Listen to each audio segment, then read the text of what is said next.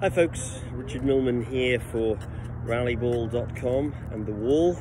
Uh, and you can see behind me I've got uh, the custom model that I make for off the wall squash uh, in the UK um, but uh, I'm using it here on the pickleball court and the drill I'm going to be doing is a self-fed drill where I'm practicing first of all lobs and then I'm going to start varying between lobs and third shot drops.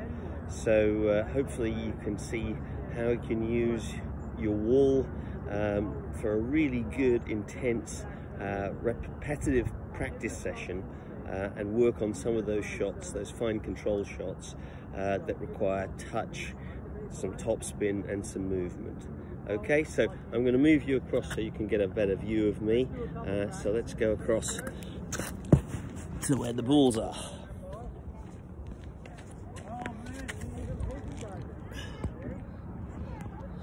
So hopefully you can see both the court and the, the wall by rallyball.com. Uh, if you're in the UK, this particular model you can get from Off the Wall Squash. Uh, that's Paul Selby and Karen Selby, uh, and you can find them on the web. But here in the US and in Canada, you can get this from me. Okay, here we go. I feed myself a couple of balls and then I decide whether it's a ball that looks like I can hit a lob. Uh, I might well go through 50 lobs before I start changing to third shot drops, but I'm going to give you a general view. You could also just do 50 or 100 third shot drops. You can aim for the middle, you can aim for the side, you can put spin on it, or you just hit a, a classic flat uh, straight uh, uh drop um, without putting anything extra on it. Uh, entirely up to you. Here we go.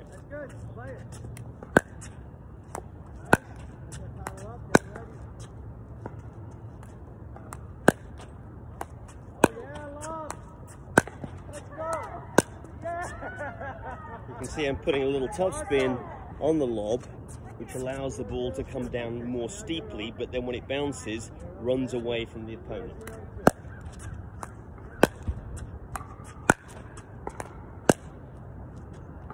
That's just gone in the corner very nicely.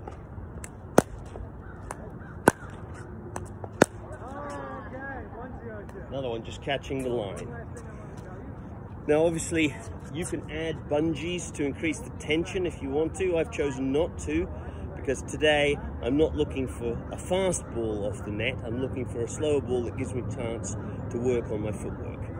Right, so this time I'm going to play um, maybe a lob, maybe a third shot drop, and aiming for the middle on my third shot drop. Uh, but one of the great things that I've noticed the top Masters players do in singles in this country is they hit very good short angles with some spin to make their opponent move a long way. So I might try a couple of those as well.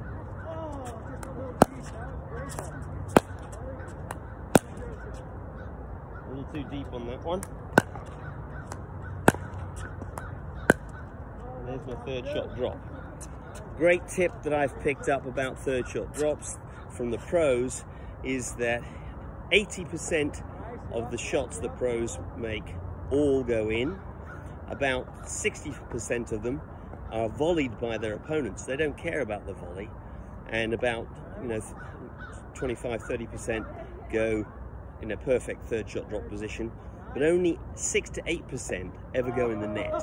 So clearly when you're hitting a third shot drop, the important thing is to get it over rather than try and play it so perfectly that you catch the net. If the other person volleys, great, you're in the rally.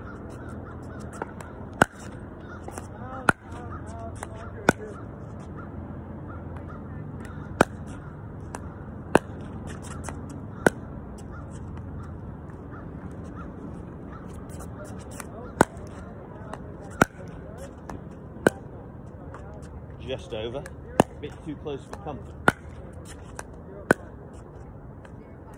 And we know that they're going to volley, but then we defend against the volley.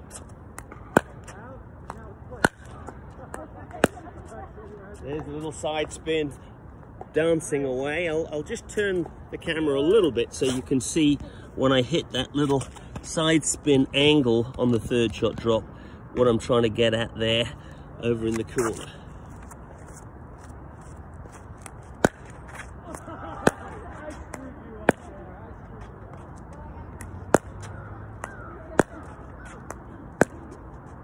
Little too much.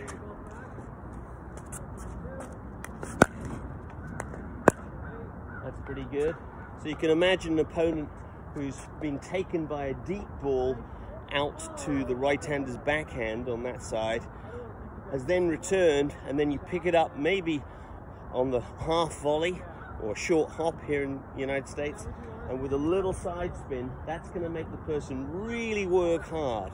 Obviously, you have to be selective as to when you hit it, but it's a great choice in singles particularly, but even in doubles, if you've managed to get your opponent out of position and you don't play it too wide so that you open yourself up for the ATP, it's also a very useful skilled shot.